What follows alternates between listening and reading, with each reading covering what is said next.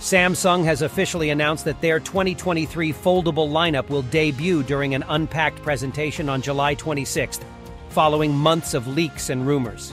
The Galaxy Watch 6 and Galaxy Tab S9 series will also make their debuts at the event in addition to the Galaxy Z Fold 5 and Flip 5. Despite Samsung's efforts to stop leaks, a lot of information regarding these products has surfaced recently. A recent leak offers full press renders of the Flip Z, Fold 5, and Tab S9 from various perspectives, further inflicting harm on the Korean behemoth. The photographs demonstrate that the company's 2023 flagship foldable will be available in white, black, and a somewhat purple hue. For the US markets and Samsung's online shop, there might be more choices.